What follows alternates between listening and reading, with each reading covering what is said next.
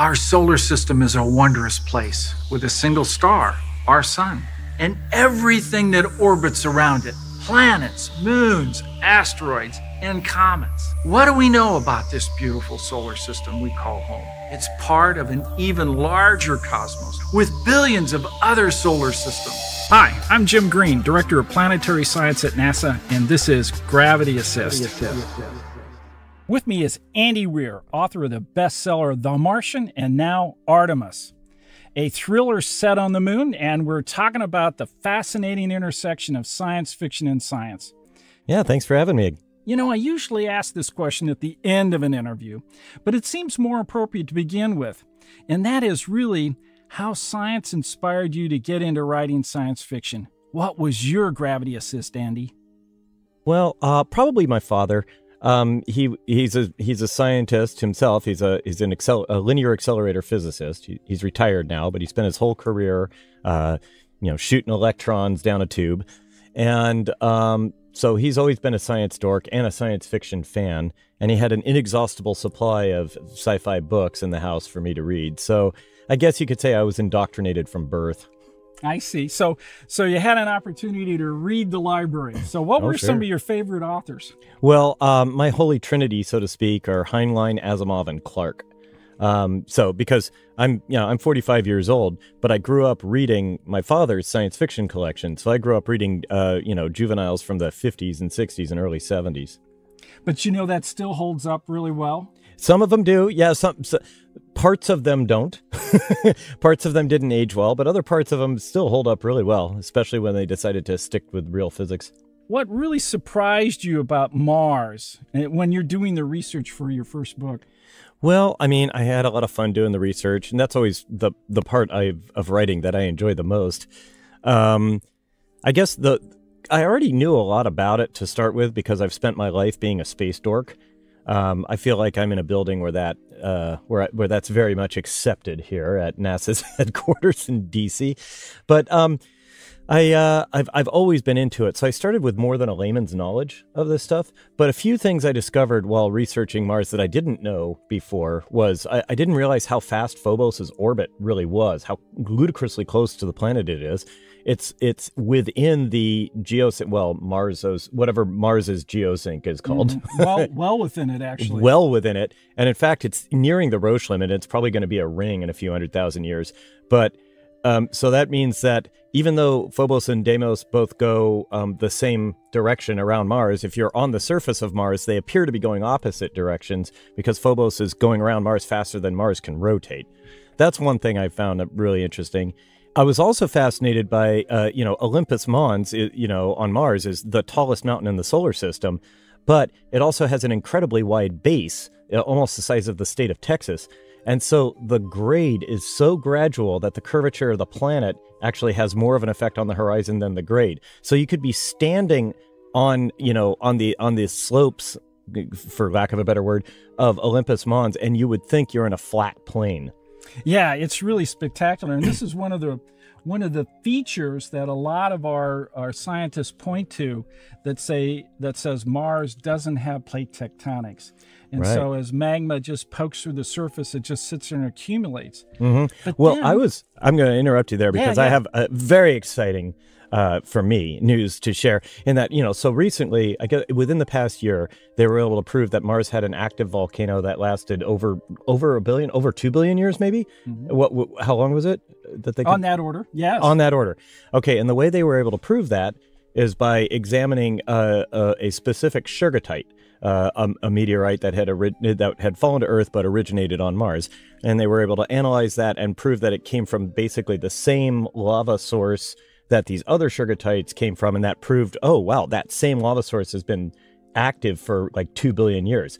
Well, that shergottite that they did the proof with is uh, my per- I, I have a shergottite at home, a Mars rock at home. That was one of my that was a, a, a little gift from me to me with my Martian money. Okay, I have it it. at home, and it is that same one.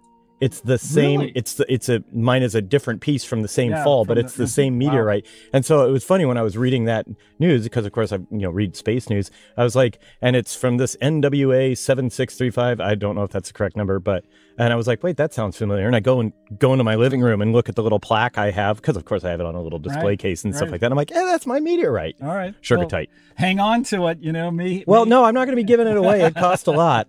may, yes, true.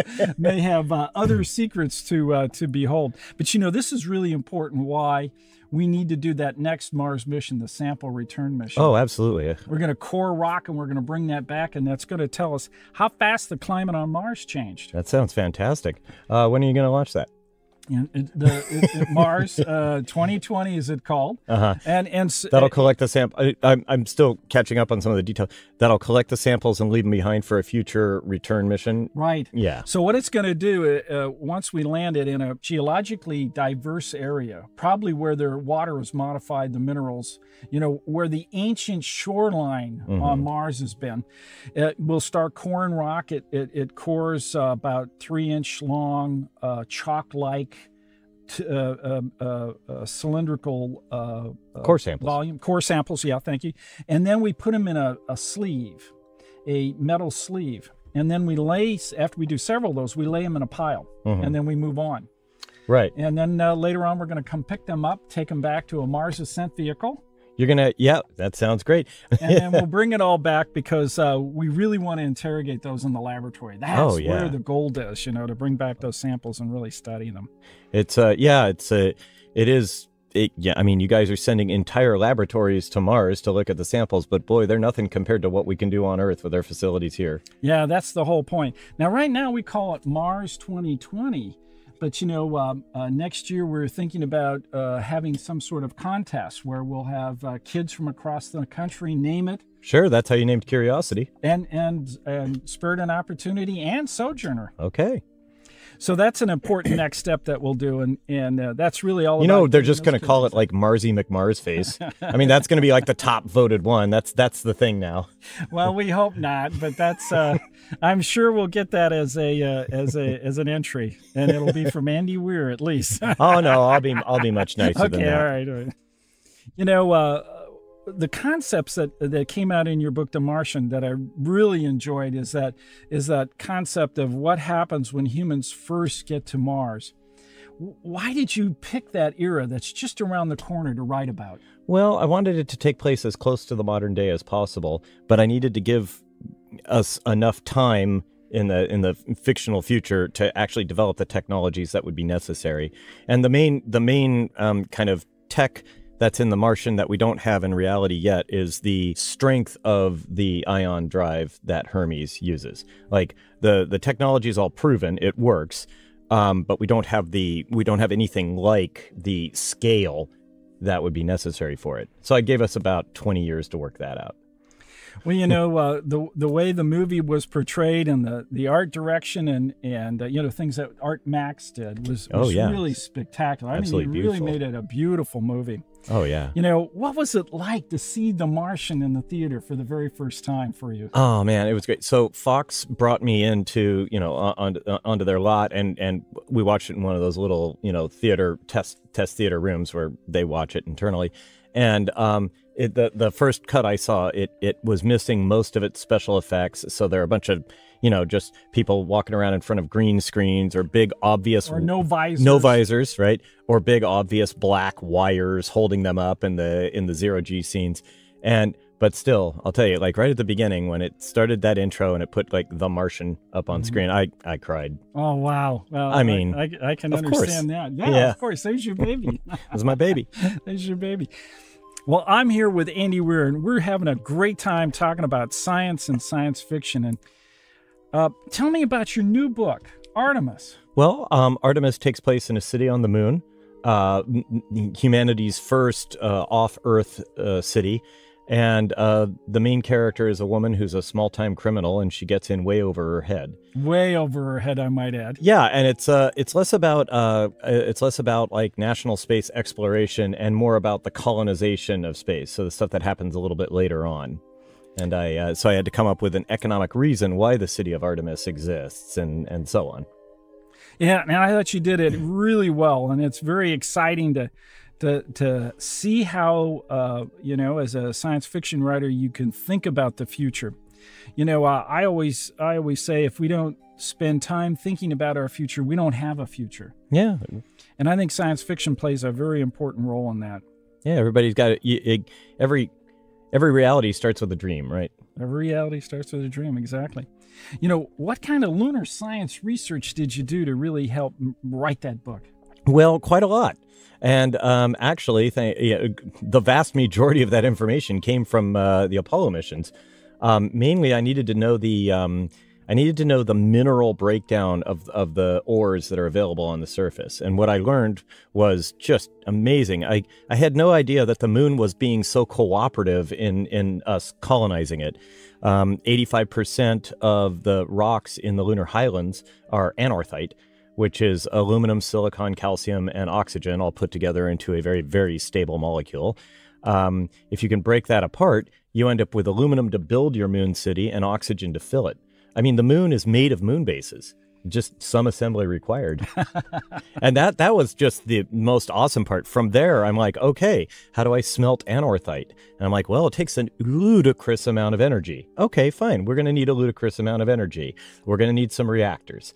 Uh, you know, it would be cheaper to ship the entire city to the moon than it would be to ship the solar panels necessary to smelt anorthite. So it's going to have to be reactor. And I just kind of built out from there how the city got built and how it grew and how to make maximum use of the resources on the moon. In fact, they would generate so much oxygen that the citizen, the people in the city can't breathe it fast enough. They'd still be venting it out into space and and oxygen is really handy. So you know, for every kilogram of hydrogen you want to bring to the moon, you can make nine kilograms of water. you know, this is really uh, thinking ahead in the sense that uh, just in the last few years, there's been quite a bit of thinking about how to go out into our solar system, go to asteroids, uh, potentially go to the moon, and be able to mine and get those resources. And, and I think your book goes right at that, uh, that very important point. That's in our future. Well, possibly. Although, to be fair, all of their mining and resource collection is to build out the city itself. So that, that works out to be economically neutral for them. It's like they get the resources from the moon, they use the resources on the moon. They don't really export it to Earth. It's still cheaper, e- even within the setting of Artemis, to just mine whatever you want on the planet you're on. um, well, indeed, typically the concept is we would want to mine material and then use it in that framework, mm-hmm. use it in space. And so uh, having space helps sustain us as we move out, uh, you know, go well beyond low Earth orbit is just a, a, a critical new way of thinking. And well, I think your book really hits that. Thanks. Yeah, it's building out infrastructure, right? It's no different than the like westward expansion. You don't you don't go straight to California. You you build railroad stations along the way. Absolutely. You know, some people say, well, why go back to the moon? And I think, um, as you point out in the book, there's all kinds of different reasons. Yeah, absolutely. Well, my my the whole conceit of Artemis is based on it takes place in the 2080s timeframe, and where the price to low Earth orbit has been driven down, and it's been driven down far enough that middle class people can afford to go to space. Once you have that, you have economics in space. You have a tourist destination. Artemis is 40 kilometers away from the Apollo 11 landing site, aka Tranquility Base and um, there's a visitors center built there, so you stay in pressure and look through windows at it, and and the uh, the the historical site is of course very well protected, and they don't let anybody mess with it. well, you know, all those I think were really critical aspects of your book in terms of how the whole plot evolves and and what happens to the what happens to Jazz and and her friends. yeah. And uh, what kind of advice do you have uh, to those um, uh, budding science fiction writers that, that, would follow your footsteps? Well, I guess uh, for not just science fiction, but any any writers, uh, the first step is you have to actually write. Um, you can get stuck in world building and daydreaming and planning it out forever, but you're not actually writing until you're putting words into your word processor. Um, and so y- you have to actually sit down and do it. And that's when you start to notice the problems. That's why it's not fun. It's fun to sit there and go like, oh, this will be my five book series. But when you start writing it, you're like, oh, I see all the problems now. uh, so that's step one. Step two, and this is difficult, but more important, um, resist the urge to tell your story to your friends and family especially if it's good. It's even worse if it's good because they'll be egging it. They'll be wait, and then what happens? Oh, tell me more. Tell me more. You have to you have to not do that. The, the reason is most writers are driven by a desire to have an audience. We're driven, not all, but most of us. I certainly am. We want other people to experience the stories that we've created. And by telling the story to people verbally, it satisfies that need and saps your will to actually write the thing. So if you make yourself a rule that says, okay, no one can find out anything about my story except by reading it, then that motivates you. At the very least, to motivate you, okay, I'll finish this chapter and then I'll give it to my buddy to get his feedback and, and so on. Well, you know, that must be the case because I think, uh, well, well, we had chit chatted in a couple events, uh, you know, about The Martian and and, and at uh, various stages along the way. I had asked you about your next book, and and you were That's well, cagey. you were pretty darn cagey. I couldn't get any information out of you on that. Yeah, I have to. Yeah, I'm, I'm, I'm you know, following my own advice there. I have to. So I assume you're working on another project, or I am. idea? I am. Um, uh, my next, my next project. Well, f- this this is my plan. Is that my next project would be a follow up book to Artemis that also takes place in Artemis, but Jazz is not the main character. It's it's a different person and it's a different story.